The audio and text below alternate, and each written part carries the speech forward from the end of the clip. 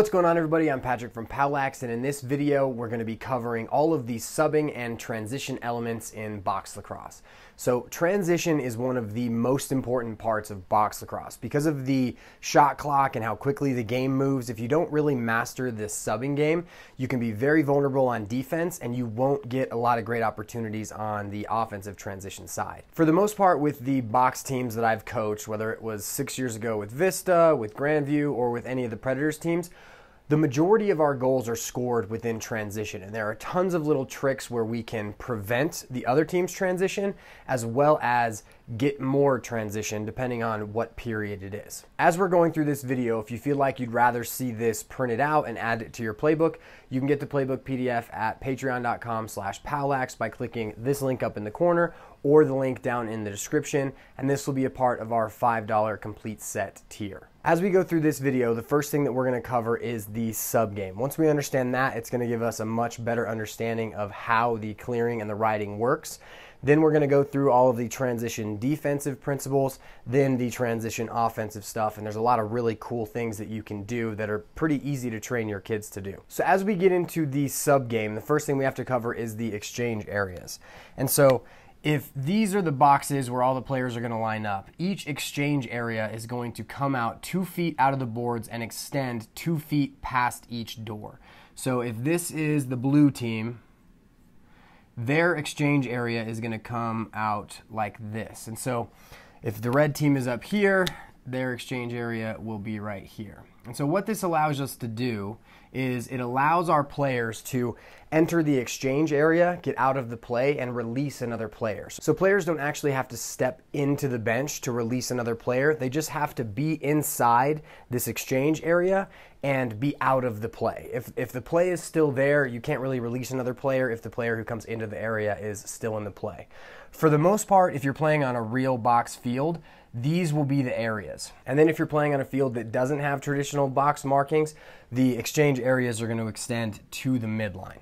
But so understanding how the exchange areas work is really going to help you avoid too many men penalties and it's also going to allow us to really move quickly as we're subbing in and out. Here you can see what the exchange area markings are like on a real box lined field. Once our players have a good understanding of the exchange areas, now we're gonna go through the two separate types of subbing. So there's defense to offense subbing and then there's personnel subbing. And so defense to offense basically means that we're only gonna sub as we're moving and clearing the ball, moving from defense to offense.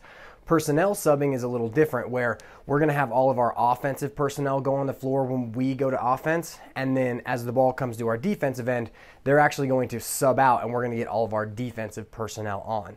It's a little more intricate, but the players seem to do better within it because then you don't get that lazy attackman back on D who has no idea how to slide or switch or play box defense. The next thing that we have to understand is that the sub game is going to be different if it is the first or third period versus the second period because as the goalies switch and we attack different ends, our benches are going to be on the opposite ends of the field, and that's going to create a little bit of variation. So traditionally in the first and third period, our benches are going to be in our defensive half. Now, that's mostly it because as teams warm up, the goalie's going to go to the side of the bench that they're on. Then in the second period, they're going to switch. So now we're going to cover all of the different ways that we can sub depending on which period it is. And so this is a first and third period because our benches is on our defensive half. And so if the red team is clearing, as the ball moves up this side, which we'll cover when we get to clearing, D1 can sub out for 0-1 as the ball moves up the floor. And because both teams are going to be doing D to O subbing, 0-1 is just going to get in and he's going to play defense. So now if we're using our personnel subbing and the red team is clearing, as the ball comes up this side, D1 will sub out for 0-1 who will come on the floor and then 0-1 will be able to come through, hit this exchange area, and he will be able to release D1. And so in the first and third periods, we're really able to utilize our personnel subbing because we're not going to get beat on transition defense because we are releasing so far into our defensive end. Now, the other really big thing to understand within our personnel subbing is that rather than having all of the players lined up towards the offensive end like we would have if we were subbing only from D to O, we're going to have our players divided in two lines going out each door. The door they're going to be by is, is respective to what they're playing. So we've got our offensive personnel in blue going to our offensive end, and our defensive personnel are going to our defensive end. The big thing is you just got to make sure that these players know if the ball's coming back on defense, the offensive players should get out of the way on the bench so that their players can get off the floor. In this clip, we're going to show you the personnel subbing in the first and third period. So we are the team in white who is clearing, they are the team in dark, and so as we are moving up the floor, notice that the players are subbing off on the defensive end and entering the field on the offensive end. And then we also see that the other team is using their personnel subbing by subbing their offensive personnel off and their defensive personnel on. So now, as we get into the second period subbing, everything's going to kind of be flipped. And so now we are going to be attacking the area that is near our bench and defending the area away from our bench. And this is going to mean that for the most part, everyone here is going to be wanting to use the D to O subbing pattern. So in this example, we are going to be showing the blue team clearing the ball down rather than the red team just to keep it similar in how we are moving down the floor. Now notice, if we're using D to O subbing, we're still lining up at the offensive side of our box, but they're on the opposite sides because we're attacking a different side. So as the blue team clears up this way, D1 will come through and he will sub off at his box for 0-1.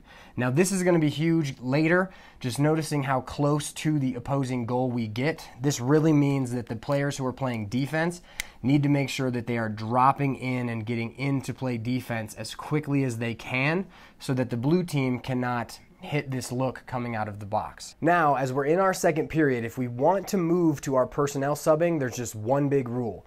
As we are riding, moving from offense to defense, the only players who can sub out are the players who are near the bench. So if O1 decides he's going to sub out, he can get D1 on. It doesn't take too much time.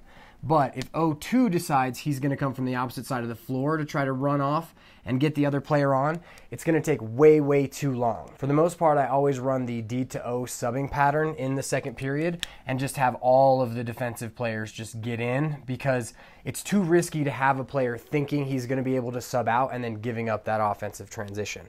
So now, as we're clearing the ball, which we'll clear it up this side, see it in a minute, the players who can sub out are going to come to the benches they're going to release in the same manner that we just covered within the D to O subbing pattern. So understanding the differences within the period is going to help us. If you just want to run the D to O subbing pattern the whole time, that's totally fine, but you will get caught with some offensive personnel on defense at some certain points. The other big thing to understand if you're going to run both types is how players are going to line up on the benches. If we're going D to O, we're going to come off the field on our defensive end and enter the field on our offensive end. Then, if we are going to be using our personnel subbing, we have defensive personnel lined up at the defensive sides and offensive personnel lined up at the offensive side. In this clip, I want you to notice this player here. Watch how he has an opportunity to stop this breakaway from ever happening, but he decides to sub even though it's a second period. And because he subs, we get a player on the offensive end, a nice headman pass, and a breakaway goal simply because he decided he was going to sub out during the second period. Before we get into our riding and clearing, where we go over kind of some of the more strategy strategy stuff, let's go over what our personnel is going to be.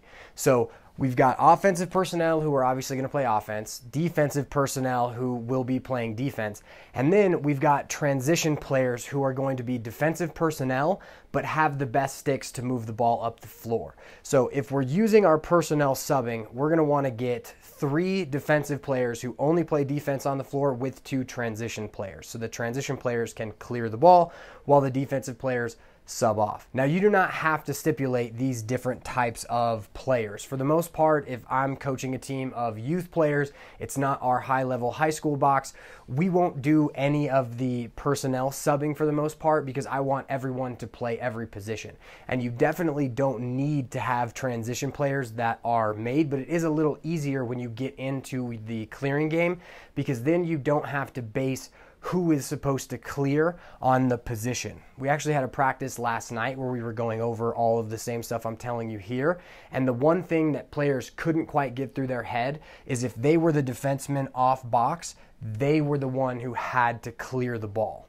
They got it a little bit as they as they game through it and it was their first time doing it, but It's easier to have a player who knows he needs to stay on the floor to clear the ball rather than having someone assess a situation and then know that that player is them. Now we're going to be getting into our riding and clearing game. And as we do that, we're not going to be covering our D to O subbing all you have to know is that if we're moving from offense to defense, those players won't sub out, whereas we're going to cover the personnel subbing, and so our players dropping into defense will be subbing out. Now, within the diagram, we are going to have the red team gain possession, and they're going to be clearing down the field, and the blue team is going to be dropping in to play defense. So, we're going to cover the defensive aspects first, and then we'll cover the clearing aspects. So, as the ball turns over and these players start to drop to get into play defense, whoever is the deepest player, so 01, he has to get in to play defense. He needs to not sub out. Now, if your team knows how to read the field, read the play, and he knows that he can get off the field to get defensemen on before there's anything, that's great. But for the most part, whoever's the deepest player has to know to go in and stop any type of offensive transition for the other team.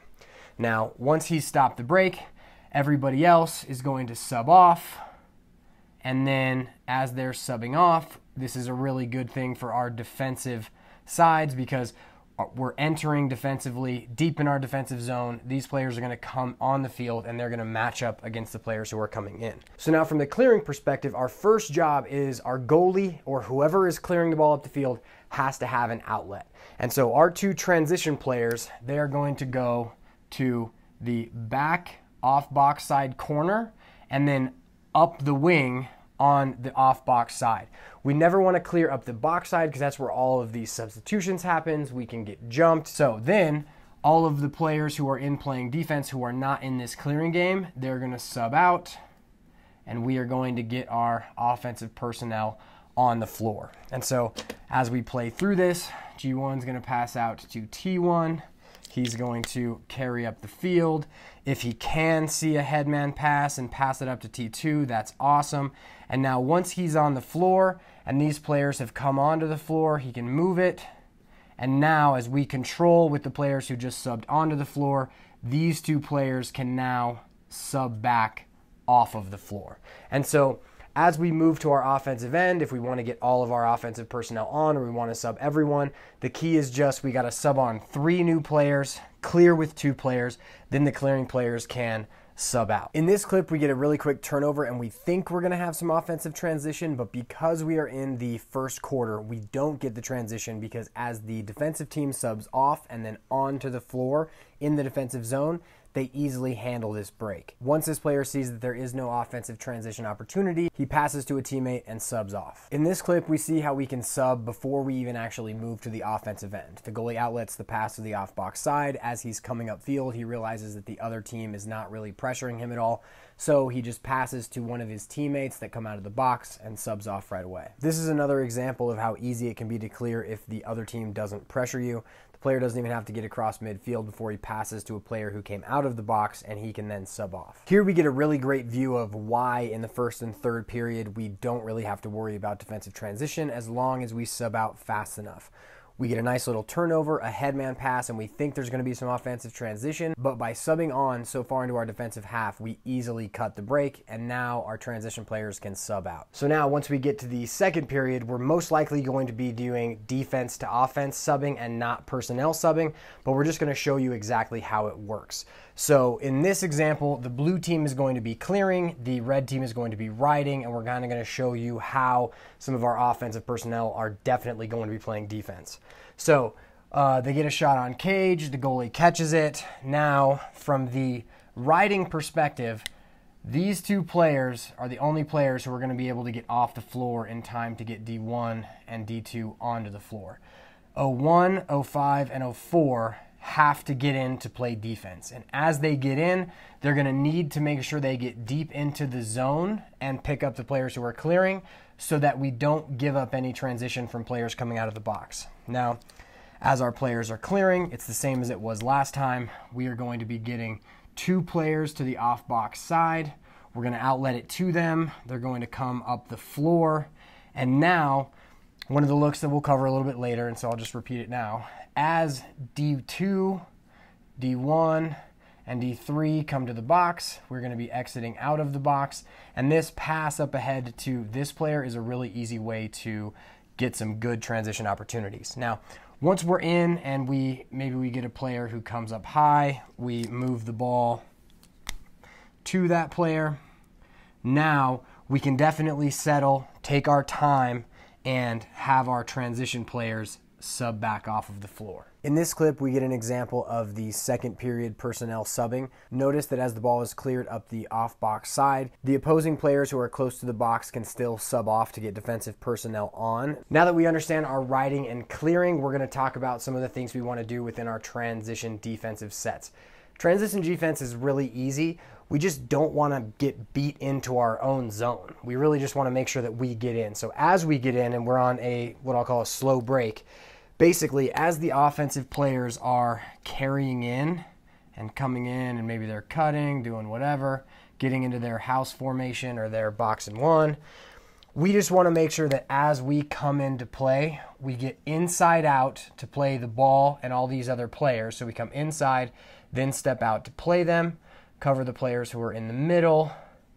And then as we are coming inside out to play the offensive players, Players need to point. They need to point. I have him. He's number seven, and they have to communicate who they have. There are so many times in box lacrosse because it happens so fast. The players just don't point at who they have to let the player behind them know, okay, I'm not guarding him anymore. I got to go find a new guy. So it's get inside out to, to match up. As you match up, point at your player, make sure that no one else is defending your guy so that we're not leaving someone else open. In this clip, I simply want to show that even though you might match up or think someone is defending a specific player, you still need to hustle into the defensive end and make sure that you can help if someone does get beat. Watch this player here as he kind of jogs into the defensive zone. He's not really watching the ball and therefore is not ready to slide. The player on ball gets beat and now they score. Now, one of the biggest ways that players traditionally give up fast break opportunities, odd man transition chances, is because they slide upfield. They think that because they're the last man who is there and then someone's coming down with the ball, that they need to get on that player as quickly as possible. Now, this is completely incorrect. We want to stay with the deepest player so that we don't give them an opportunity to pass it up over our heads and have a breakaway. This also is because we want to limit the amount of time an offensive player coming down the floor has in order to make his decision. So we want to delay making our decision as long as possible so that once we do make our decision, their decision making has to happen quickly. So in our example, blue team's coming down the floor, O1 is carrying into the offensive zone. Now, if D1 slides over way up here, O2 is wide open. He's going to be able to catch the ball and score. So as O2 is cutting, we want to make sure that D1 stays with him until O1 actually gets dangerous. So once he does get dangerous, this is a lot shorter of a slide. And so he can even almost fake the slide, like fake going, and then try to get back to O2. But because he's delaying, we also have D2 who might be able to get in here and make a play on O2 because he slow played. So for the most part, this usually happens kind of up in the middle of the floor here. We just want our players to know, make sure you stay with the deepest player on the other team so we don't give up breakaways and transition by sliding upfield. In this clip, I want you to watch this player here. Notice how after the ball turns over, Rather than staying with the deepest player, he slides upfield to the ball, leaving an easy pass and breakaway for us, and we score. In this clip, I want you to notice this player, he once again slides upfield towards our ball carrier, which leaves another offensive player to get deeper than him. We eventually get a headman pass and a goal. The final thing that we're going to cover within our defensive transition is that sometimes our defensive transition starts before we even lose the ball. So, as our offense is playing, let's say the shot clock is winding down. You hear the three, two, one. Most people always want to get a last shot. Now, this is not always the best example, and we'll show you the offensive side of this in a minute. But as we are playing, if if time is running down and this player can't get a good shot, he should roll the ball into the corner here and make the defensive team go pick up the ball while our team is able to get down the floor, get into our defensive transition sets, and just get into play defense. That way, we don't get a wild shot that hits the boards, bounces up over, their team catches it, and every one of our players is still down here as they're moving up the floor. Now, as we move into our transition offense, the first thing that we can do, which everybody knows and usually practices quite a bit, is we can use our draw and dump. So, whether we have a two on one, a 3v2, a 4v3, if we have any type of advantage, we want to draw the defensive player, move the ball, make sure we're trying to get to the front of the cage, draw again, move the ball and try to get a 3v2 to become a 2v1 to become a 1v0 with the goalie.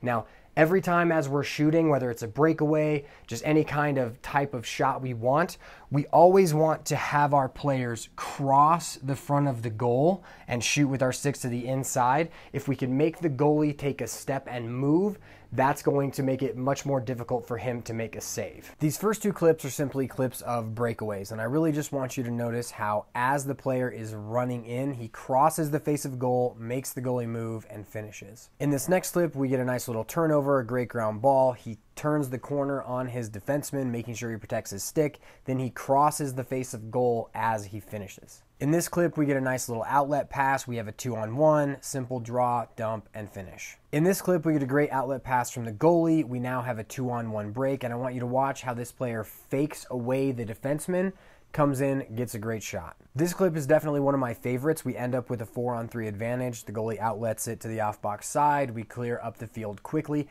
And notice how it is the trailing player who creates our advantage. A trailer comes in, we get a nice little throwback, one more, and now this player takes his time and finishes. Now, within our draw and dump philosophy, one of the best looks that we can find is a trailer look. So as O1 comes in, if he is covered by D1, and O2 is trailing the play but is open, O2 will yell trailer.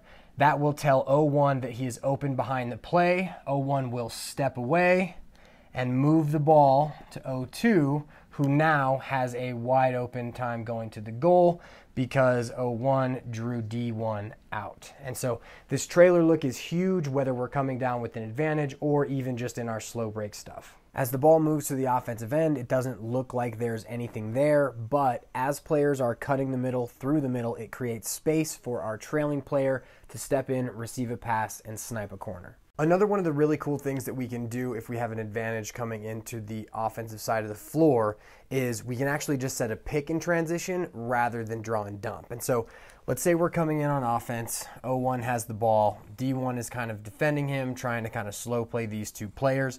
Rather than having D1 cut the middle, like let's say he's a player who doesn't have the best finishing skills, not the best player who can catch the ball, instead of coming to the opposite side of the floor and drawing and dumping, he can just come and he can just come under and kind of set a pick on D1 so that O1 can come around him, get to the middle of the field, and take his shot. It's definitely one of the more advanced plays that you can see made, but when players do it, it really does free up good shooters rather than passing to a player who might not catch the ball. In this play, this player splits a double to create offensive transition. Now notice this player here he doesn't have his stick up because he knows that the player with the ball is one of the team's best finishers. So instead, he sets an up pick, the player comes around it, gets to the middle of the field, and scores. Now, the next way that we can really gain offensive transition, and this is only in the second period, is we can use our sub game to gain an advantage. So, as O1 is being defended by D1 coming down the floor on the off box side,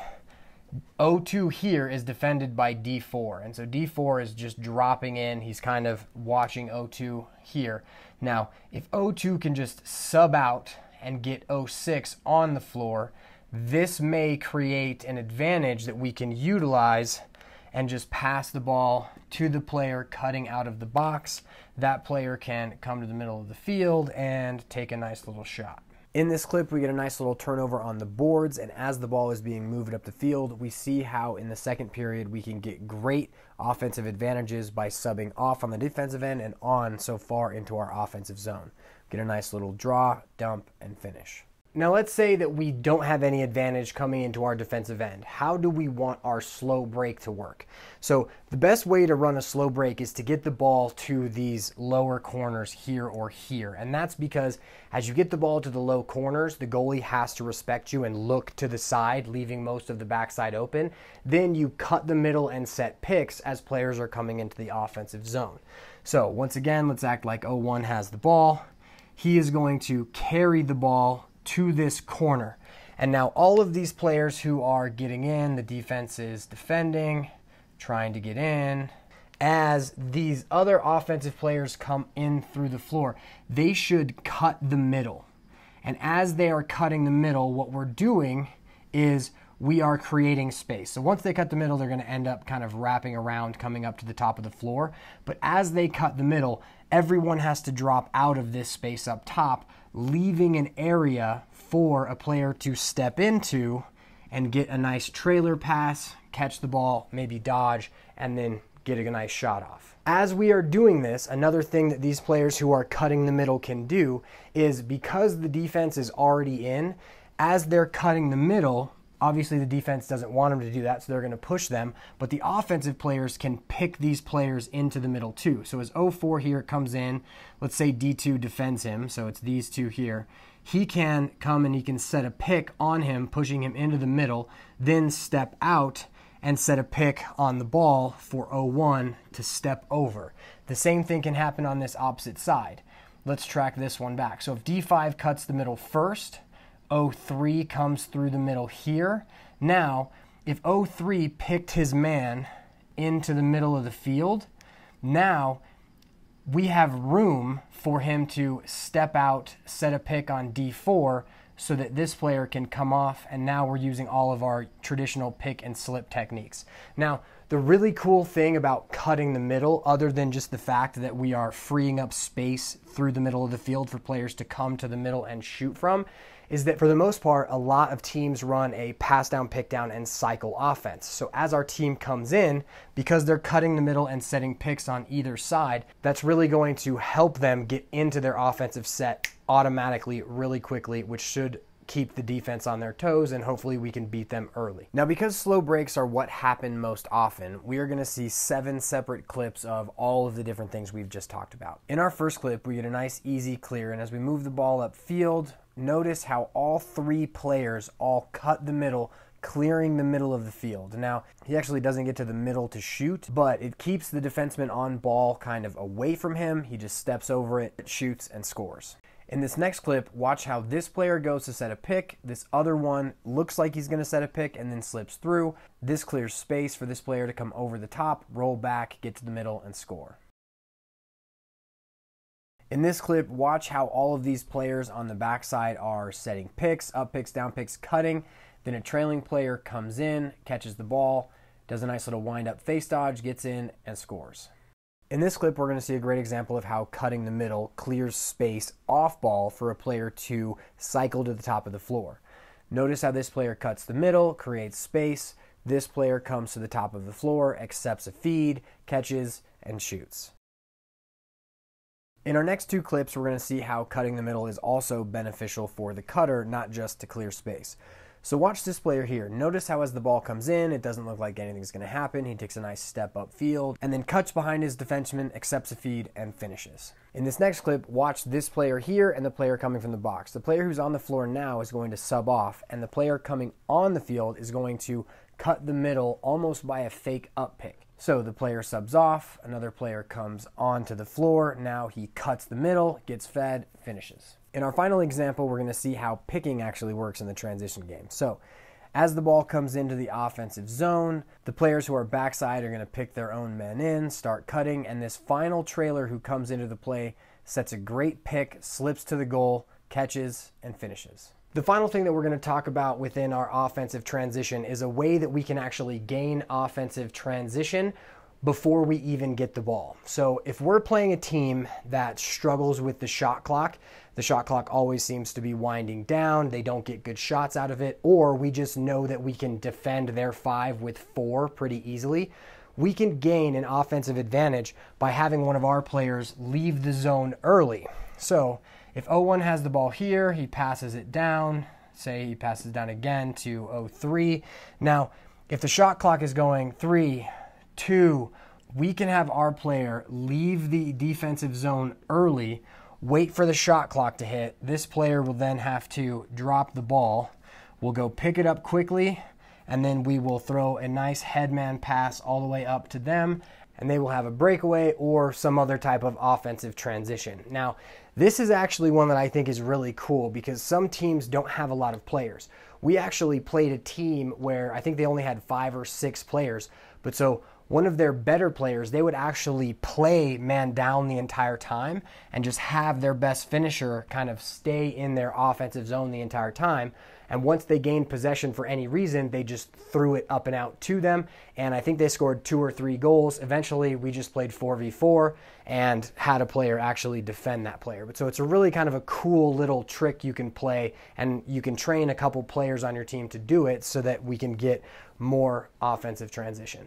Thanks for taking the time to watch this video. I really hope that you guys enjoyed it. If there was anything that you found really valuable or something that I missed, definitely leave a comment down in the comment section. If you want to download the playbook PDF for your playbook, you can get that at patreon.com slash powlax by clicking this link up here in the corner or the link in the description. Make sure to hit that like button, subscribe, turn notifications on, and share this video if you really enjoyed it. Have a good one. I'll see you in the next video.